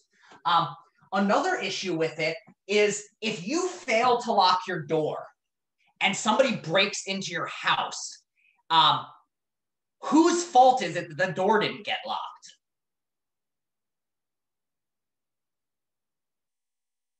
The person itself, like who didn't lock the door. Yeah, you forgot to lock the door. It's your fault in some sense. I mean, granted, you'd still like it would also be the criminal's fault. But if you went to the uh, locksmith and were like, "You put on a bad lock, you didn't make it so the door stayed stayed shut," and the locksmith was like, "Did you lock the door?" And you're like, "No, no, no, I didn't lock the door." But that's besides the point. Your lock didn't work. They're gonna be like, "You have the responsibility to lock the door." And if you sue that locksmith because you forgot to lock the door, then like they're you're not going to make any money. They're just going to be like, you're an idiot who didn't lock your door. But what do you do in the case of a computer system? Are you responsible for making sure that your firewall is up to date? Well, if we go by analogy with a house, yes, you are. But it's so complicated and so uh, so many different levels in the uh, degree of making sure your system's secure. Is it really appropriate? Like if your grandma gets hacked because she didn't understand how to update her computer properly, can we really say, well, grandma should have locked the computer better. It's her damn fault. She deserved to have her, her things taken. It just feels somewhat different. Also, there's a major issue with computers having to do with the intersection between public and private also between um, punishment versus reward. So the first thing I want to say, let's do the punishment versus reward case. When you are hacking into a computer system or when somebody is violating computer security, the potential reward is massive. And this is massive for the exact same reason we talked about before. The world is so interconnected that if you manage to hack into one giant company through one particular bug, you can make huge, huge, huge, huge, huge amounts of money. So if I hack into one house, or, um, or by hack, I mean break into one house, the most I'm gonna get is whatever's in that house. And nobody keeps a $100 million in their house. But if I break into, say, Amazon, and I manage to get credit card information off of Amazon, that is millions of dollars in one hack. So that's one reason. So the, the reward people have is much higher. So they're far more likely to try to break into a computer system. And on the flip side, what is the main what are the major reasons we don't try to break into houses? Punishment is also massive. Yeah you can get in huge trouble if you break too. into you can break into like huge trouble if you break into a house. However um, and why how hard is it to punish you when you break into a house? Pretty easy. Yeah i mean at the very least you're within the physical location. If you break into the house you probably didn't go very far if, however, you're hacking from a halfway around the world, if a Russian hacker breaks into it, or let's go with a better example, if a North Korean company or North Korean hacker group hacks into a, um, I don't know, let's go with uh, Barnes and Noble. If a North Korean hacker group hacked into Barnes and Noble, uh, what would the North Korea, who would punish them? What would happen? Uh, nothing really, because uh, it's because there's immunity. Because otherwise, we'll start a war. Yeah. So basically, so one thing Cynthia says is it's much easier to identify the culprit. So that's true as well. So one thing is if somebody hacks into a system, it's very difficult because they could be anywhere in the world to even know who it was. If you break into a house physically, you're going to leave. There's a chance you'll be caught on the premises. It's much easier to guess who it is based on video and everything else. A hack from halfway around the world, nothing. Also, if you get caught, even if they figure out who did it, the odds are that they're doing it from a country with no uh, that the US has no jurisdiction over. So if a hacker hacks from Russia or North Korea, the only thing we can do is say, hey, North Korean government, will you send that criminal back to us? And the North Korean government is going to hold up two middle fingers and say, screw you, we're not giving you anything. And so for this, in this way, even if we know who hacked, the odds are they're not going to get punished for it. And there's no overarching international law governing hacking crimes. Ahead. No, I was going to say, because um, oftentimes, uh, as you mentioned, that government is behind the hacking. And that's another issue is very often it'll be the government themselves doing the hacking. So the North Korean government isn't going to be like, yep, you caught us. Here, we'll pay a fine. They're just going to be like, wasn't us. You're going to be like, I have proof it was you. And they'll be like, well, you can think that, but we're going to deny it until the day we die, and you're not going to stop us.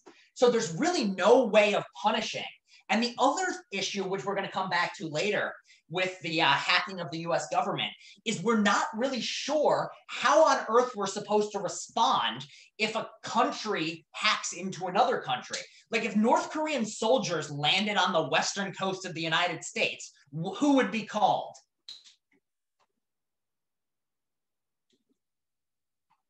What was the question, Professor? I'm the sorry. question is if US or Chinese soldiers landed on the west coast of the United States, who gets called?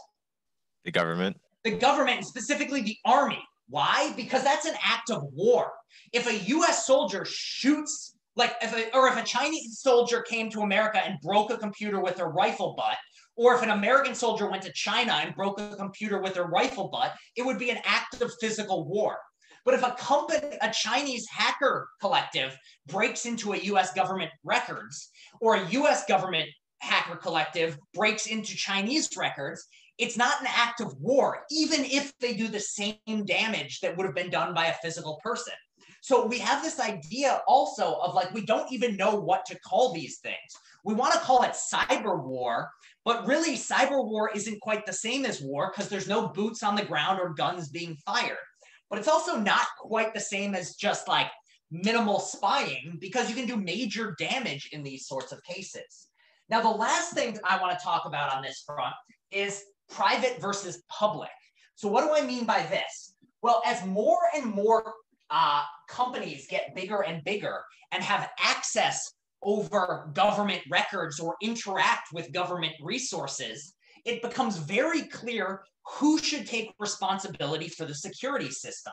So, for instance, um, the other year, I think it was the Department of Defense. Basically, the Pentagon signed like a $10 billion contract with Microsoft to run the Pentagon's computer system off of uh, Microsoft Web Services. So basically, the cloud that the US government was going to be using was going to be provided to them by Microsoft and run off of Microsoft servers. Now, so you've got this intertwining of public and private. If somebody breaks into the Pentagon physically, it was the Pentagon's fault that they were broken into, and the government has to respond. If Amazon headquarters or Microsoft headquarters is broken into, it's Amazon or Microsoft's job to deal with it. But what happens if it's US government uh, computer systems running off of Microsoft web services? So you've got government data and government software, but it is on top of Microsoft Microsoft physical servers. So what is the problem here? What is the worry about having the government data being stored on Microsoft physical servers? Well, who is responsible for keeping it secure? And going back to what I talked to earlier in the class, why is it is it going to be cheap to keep this information secure? Is it easy to keep computer information secure and safe and private? Nope. No, it's very expensive. So Microsoft is going to say who should pay for it? Government. The government. And who's the government saying should pay for it? Them. Microsoft should. So you have these things in which what ends up happening is Microsoft says, we provided the service. We're not responsibility for we're not responsible for the security. The government says we paid and hired you as a company. You owe us top-notch security. And so in this particular case, it will often happen like I'm sure that this particular deal they worked out who was culpable and who was responsible for what. But in many cases what ends up happening is nobody wants to take responsibility and nobody puts the money in because they assume somebody else is going to be responsible for it.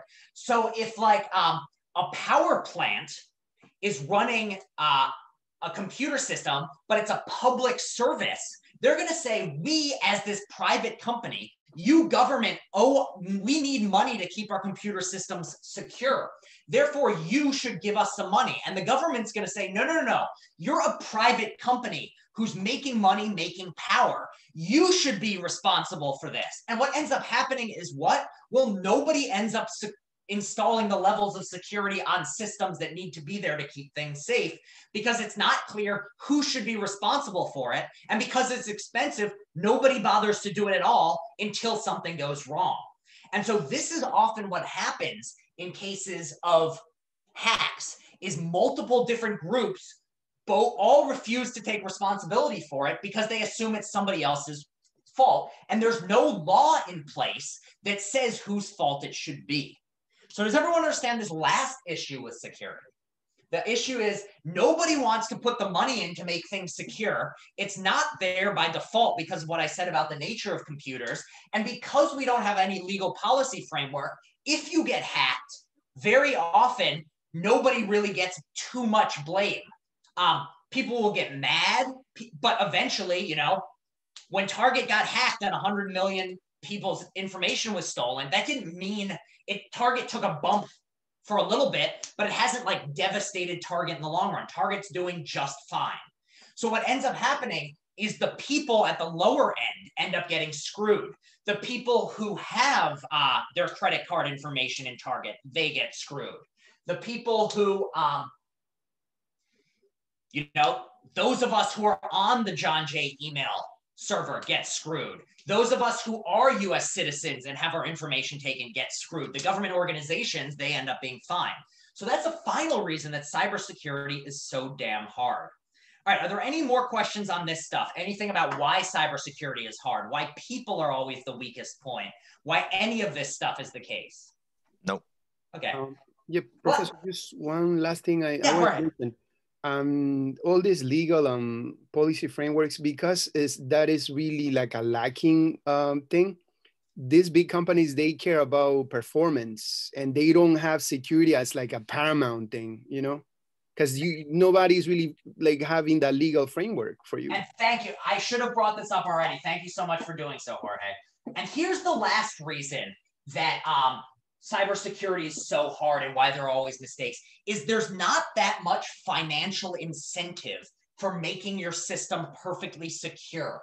Rather, there's incentive to make the thing flashy and appealing to consumers. So the average cons- consumer looks at an Apple Watch and thinks, wow, that Apple Watch is going to give me an ability to call my friends even when my phone's dead, to ha- have my um, number of steps tracked, to easily measure my heart rate throughout the day.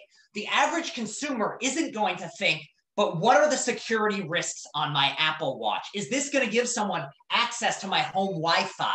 Is this going to give someone access to my credit card information?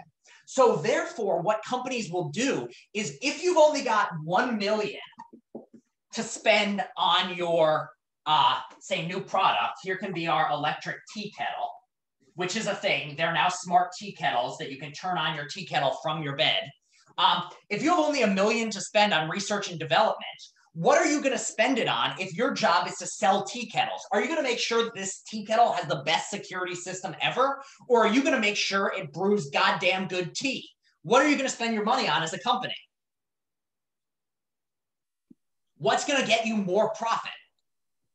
Uh, making sure that it does um, that it performs well, I guess. Yeah, what's going to make secure. Mhm. what's going to make you profit is to make sure this is the best tea kettle out there so that people buy the tea kettle. If afterwards it turns out there's a security flaw, well, so what? You already made your money. If, however, you end up making half as good of a tea kettle because half of your budget goes into security, you aren't going to make as much money. So, what companies do, they're incentivized to take a big risk and pour everything into research and development and not put anything into security. So one of the most um, one of the riskiest areas in any network are the new smart devices that are coming out. So any sort of thing that is a, like a specialty device that has a an app or security system hooked up to it, um, these are the sorts of things that are very open to risk. So um, I'm not going to share it because it's not uh, it's not suitable for work. But there was a case I read about recently in which somebody hacked into a uh, sex toy and basically demanded ransom in exchange to give this person's control of their own sex toy back. And why was it the case? Well, it's because this smart sex toy was not hooked up to be secure. It was hooked up to be used in sex. Therefore, it was a major security issue. Um, and these are the sorts of things that also happen with, uh, and this is why, why ransomware attacks are so common. So, what is a ransomware attack? Just one last type of attack to highlight. It's basically like oh you you take uh, somebody puts like uh software so say like you click a link and then it'll download the software and then it'll start encrypting all your files and then asking for oh it'll be like oh um you have this x amount of days to pay this amount of money and if you don't pay it then either you'll delete the files or you'll never get your computer back Exactly. Jorge, did you want to add? Professor, it, it, it, it's tied with availability, right? They, you're not able to get to your files until you um, do what they asking, they're asking you. Exactly. Yeah, it's the availability accessibility one. So yeah, basically what it is is you somebody sends you an email or sends you something, you download a program which encrypts all your files, which means you cannot access your files. So you've lost all the availability to your data. And then what they say is you pay us X amount of money or else we are going to not give you access to your files back and maybe even sell them on the internet. So recently, um, a video, a major video game company was had their uh, information stolen and uh, side it was encrypted. They had backup files, so they kept it. But basically, this this group said you either pay us some a few million dollars, or else we are going to sell this data on the internet. And you are not going to be able to, you're going to have to use your backup files. And the company didn't pay. And supposedly the files that were stolen were sold for anywhere between eight and $10 million on the dark web. So these are the sorts of things that uh, ransomware attacks are. And one of the reasons that ransomware attacks are so, so common is that they are targeted at companies whose software is not designed to be secure because nobody thought that anyone was going to be attacking. So what anyone know what the most common type of company to get ransomware is? Anybody? What, like, as in like a target or? Yeah, type of target, like the type of Oh, business. Google, like big, very large corporations. So large corporations, but very often large corporations have very good security systems. Um, so they're not always the main target.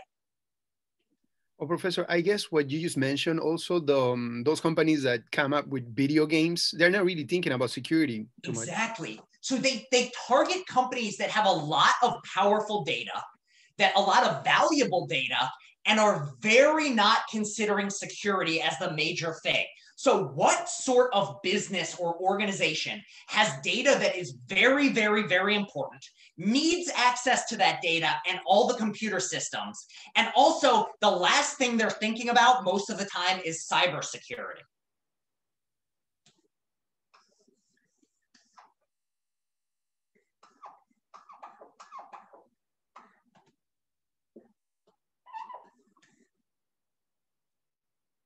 Any takers?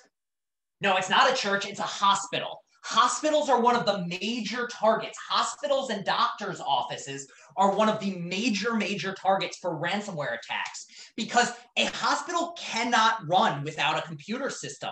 So there have been many issues of literally somebody's in the middle of surgery and suddenly computer system goes out and the doctor no longer has access to the things. And because of this, hospitals are very likely to pay the ransom because they cannot afford to have their computer systems down. So, but also, um, yeah, insurance companies as well. Um, and because of this, and the hospitals also, what is the hospital's computer system's number one concern? Well, the health of its patients. So hospitals were not thinking of themselves as risked Uh, as or hospitals and doctor offices were not thinking of themselves as at risk for security breaches and yet here they were because of the nature of it. So what we're finding also is as technology shifts and we become more dependent on computers the number of ways in which a computer system can be attacked and what can be done to it is changing as well. And because of the nature of this also one of the reasons these hospitals were so vulnerable is they were using software for to store patient information and things like that and insurance information. And those software programs were designed to be efficient and simple and cheap so the hospitals could afford them. They didn't have great security systems, and the companies that built them didn't put in the security systems because there was no financial incentive to do so. So this is just there's this giant vacuum in security created by the nature of the way uh, money is made through cyber technology. All right. Any last questions on this? Thank you so much for bringing up that point, Jorge. That was a really good thing for me to uh, mention here. Okay. All right. The last thing I want to bring up is just we'll spend 10 minutes just defining this term so we're all on the same page.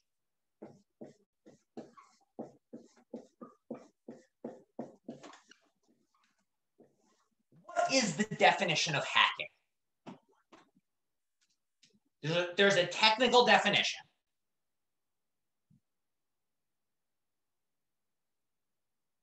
What is it to hack into a system?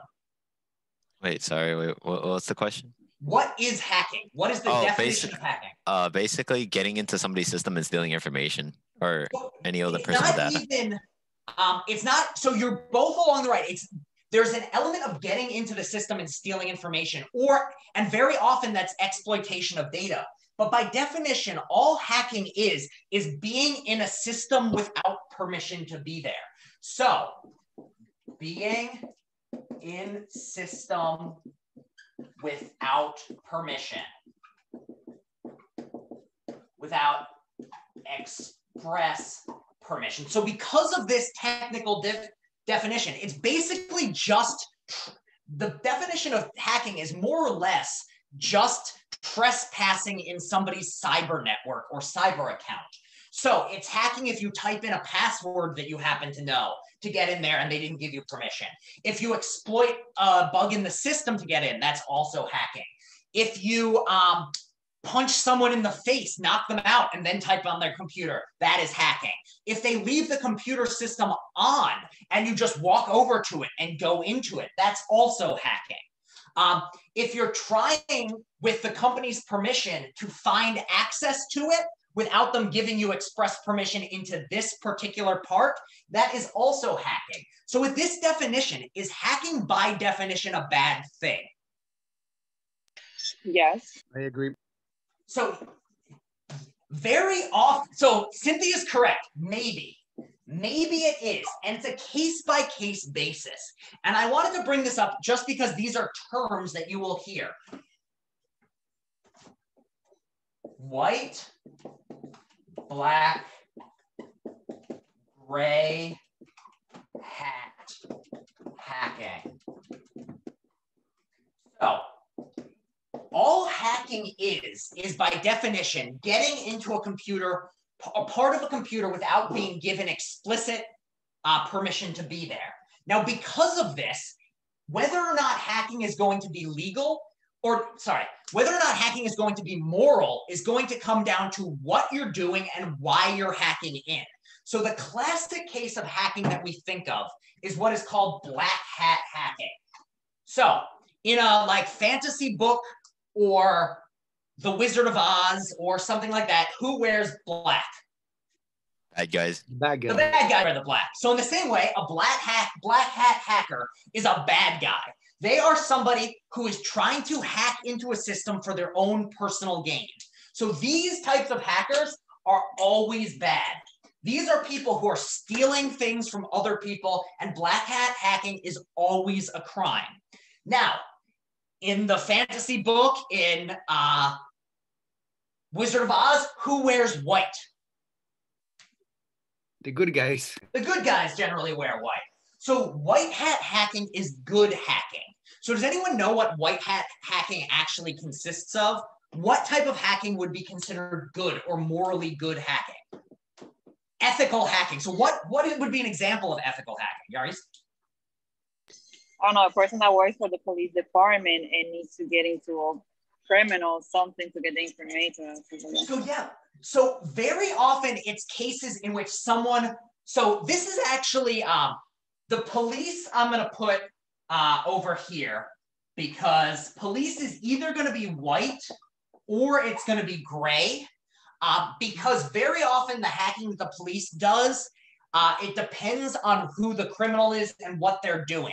So it can even be a little bit into the not entirely white area because some people think a police officer hacking into a criminal's um, bank account to fro- freeze their funds, even if that person is a criminal, violates certain Fourth Amendment rights and other things like that. So that is, I think some cases of police are going to clearly be white hat hacking. But what is the um? Cl- anyone know the classic case of white hat hacking? Who are you hired by? The company doing- itself.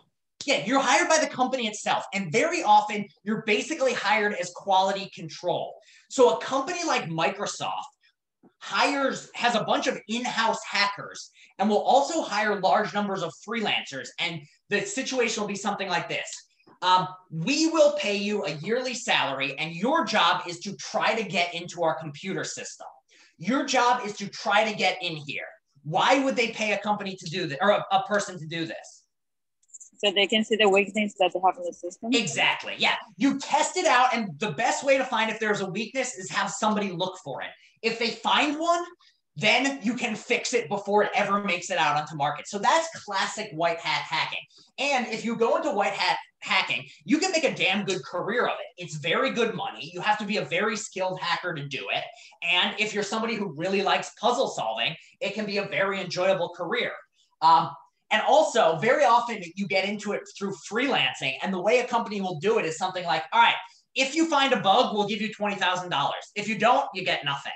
Um, so that's a classic case of just incentivizing people to search. Black hat hacking is you don't do it for the company's benefit. It's entirely for yourself. Jorge. Oh no, I was just gonna mention that uh, that white um, hat hacking sometimes is uh, they're called penetration tests. Yes, that's a thank you for bringing up that term. So yeah, penetration test. So in a certain sense, it still counts as hacking because if you penetrate the system in that way, it's not going to, you're not going to be in that part of the system with the company's permission. They gave you permission to try, but they didn't give you permission to succeed. So it still counts as hacking. Well, in the black hat case, it's literally getting in there to take things. Now, if the good guys are white and the black, the bad guys are black, what what are the gray guys? It'll be like a Robin Hood kind of thing. That you're. Yeah. It's it's somewhere in between. It's like Robin Hood or something else. You could go both ways. So very often, what it is is it's cases in which it's not clearly morally okay, but it's also generally done for a cause that seems more uh, respectable. So, for instance, there are cases we can go back to. Um, was it Marcus before who brought up Anonymous? Yeah. Okay.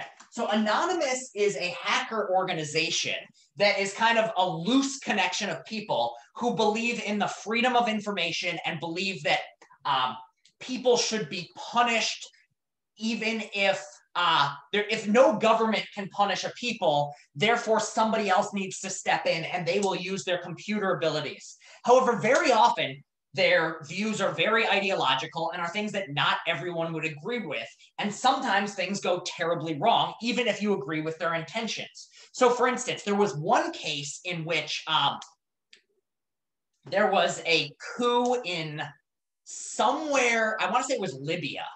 It was a a democratic government was overthrown and anonymous decided this is unacceptable. So what anonymous did was they carried out a ddos attack on this government's website and everything else. So what is a ddos attack? Or ddos that's on s. Uh distributed denial of service? Yeah. And so how does it work? Well basically at the end of the day, all computers and all systems ultimately run on fiber optic cables. And fiber optic cables hook up to processing systems. So everything internet cloud, at the end of the day, there's something physical there underneath it.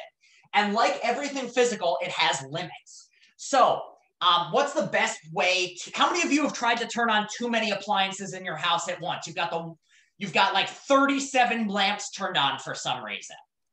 I've turn off the or t- try to boil water while turning on the microwave, and then yeah, it blows, yeah. blows the thing. Yeah, it blows the fuse. It's just there's too much going on, and the circuit breaker kicks, and all the lights go out. Well, in the same way, with a computer system, if you give it too much information to process, it'll just shut off. It'll just and that's what a DDoS attack is. You just get a large number of computers to all try to access the same thing at once and shut it down. So, very often, a company or, or a hacker collective will try to shut down a government whose policies it doesn't agree with, or also anonymous. Um, there was a case after a credit card company did something that they thought was sketchy. So they carried out a DDoS attack and shut down this credit card company's website for several hours, which meant that nobody could use that credit card for that many hours and it cost the company millions of dollars. So these, these are the sorts of things. So on the one hand, you might say like, oh, this is for a noble cause. I agree that this company needs to be put in its place. But the way it's carried out is illegal and is going to cause harm to a lot of ordinary people as well. Other cases of this sort of thing, um, we can talk about. I think some cases with the police are very clearly white hat, in which you're just like testing to make sure that somebody's um, not getting access to a certain computer system and that sort of thing. But sometimes what a uh, police officer will do is do something kind of in between. So you can, um, if you gain access to a criminal's computer by impersonating somebody else. So if you say, so a classic case of this is if you're a cop and you say, I'm this person, I'm also, it's like going undercover. but going undercover through a computer. So on the one hand, you're doing it for the greater good, but on the flip side, you're also lying to large numbers of people. And if you weren't a cop, doing what you're doing would be illegal. So there are lots of cases that are in this gray area. And like everything else, the gray exists on a spectrum. I think most of us in many situations would want to say that a police officer who does it for like a genuine criminal who's genuinely done something wrong. But there are other cases in which like the FBI hacks into the information of the average US citizen. And they do that under the auspices of it's for the greater good. Or they are tracking every immigrant in the country who comes in legally and reads all their um, reads all the ingoing and outgoing numbers. So, for instance, amongst other things that Snowden discovered was that there was a program in place such that if you were calling somebody outside the United States, the government was able to see what number you were calling. And so you might say, well, that's kind of for the greater good, but also it's kind of like hacking. All right. So in future weeks, we're going to talk more about hacking. And starting next week, we're going to transition more from the security to the privacy side. But that's all I really wanted to say today. Are there any more questions on this stuff? Nope. No, All right, professor, thanks. Very interesting uh, class. Thanks. Awesome. Thank you. I'm glad you enjoyed it. Um, so I will see everyone next Friday. Have a good weekend and um, have a good rest of your week or have a good next week. And I'll see you a week from now. Have a All right, good take one. care. Have a good weekend, Professor.